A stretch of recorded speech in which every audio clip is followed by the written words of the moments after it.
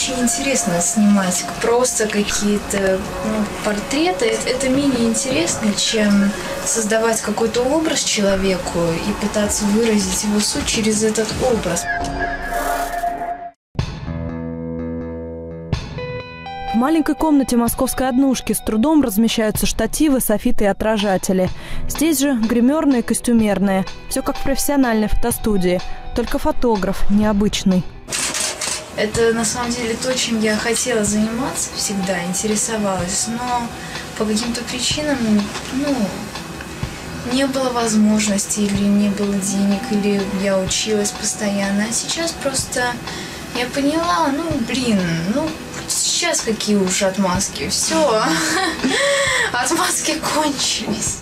Маржане Садыковой 13. В июне 2011 у девочки обнаружили рак. После полутора лет борьбы и интенсивного лечения стало ясно, что болезнь сильнее. Тогда Маржана и познакомилась с координаторами фонда помощи хосписам «Вера». Узнав об увлечении Маржаны фотографией, они собрали деньги и купили для нее профессиональный фотоаппарат. А затем предложили сделать выставку работ. Мы купили фотоаппарат и очень захотелось поблагодарить людей, которые скидывались на эту камеру. А как их поблагодарить было непонятно, и мы Маржане сказали, что, может быть, э, этих людей порадовали бы ее фотографии, может быть, она поснимает на новую камеру и сделаем выставку в благодарность людям, которые помогли с камерой. Что обычно, когда человек болеет, его настолько задавливает всякие физические недомогания, боль, слабость, что уже ничего не хочется. А Маржана каким-то невероятным способом, превозмогая все это, живет какой-то полной, полноценной жизнью творческой. И таких людей больше не встречала.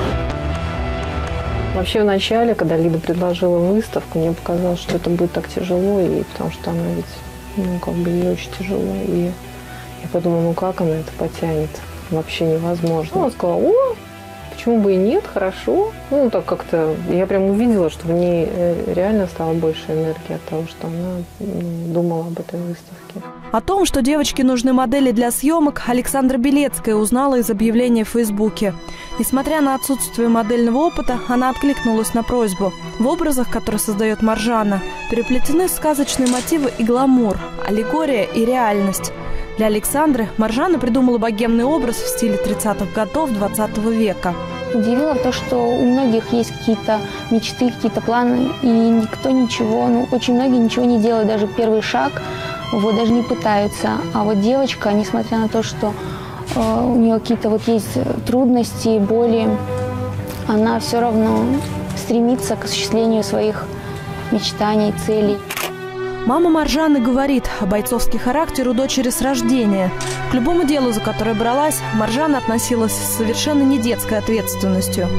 На то, чтобы создать эти 35 работ, у девочки ушло более двух месяцев кропотливой работы, но цель была достигнута. 14 февраля в столичном кинотеатре «Пионер» состоялось открытие ее персональной выставки под названием «Гости». Она просто утвердила меня в моих намерениях и показала что надо жить, действительно наслаждаться этим, какая бы она ни была, и действительно радоваться, что вот мы есть. К своей болезни Маржана относится не по годам философски. Говорит, она многому ее научила и многое помогла понять.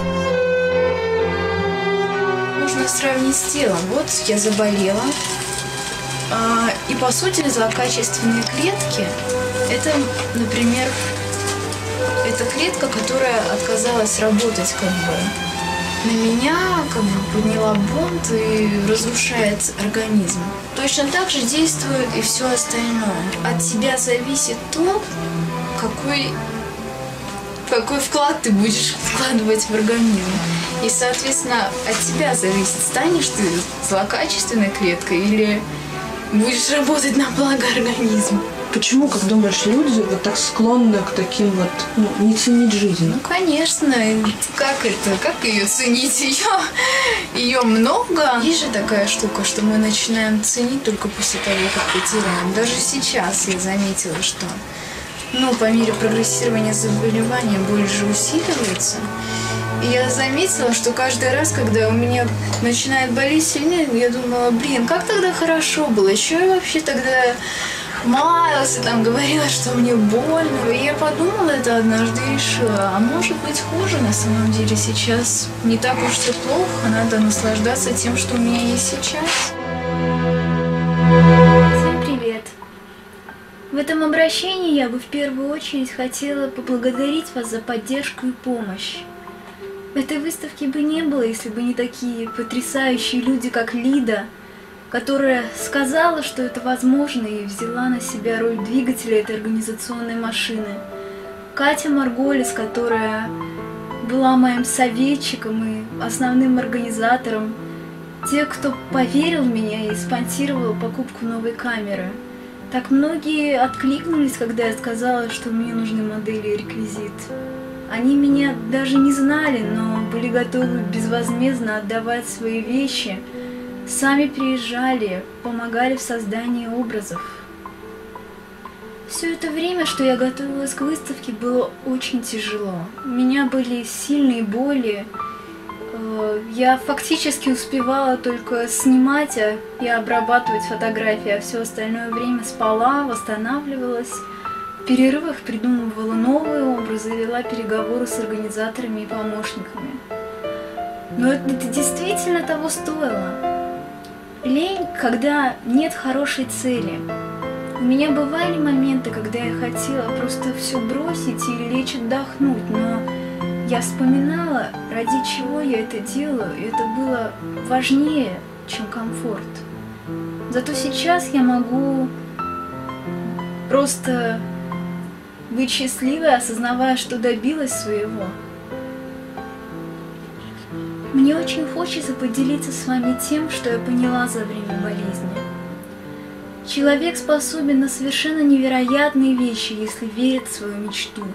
Нужно просто начать идти. Возможности, единомышленники, все появится, помощь придет. Я думаю, такое может случиться с каждым, не только со мной. Когда я фотографирую, боль уменьшается.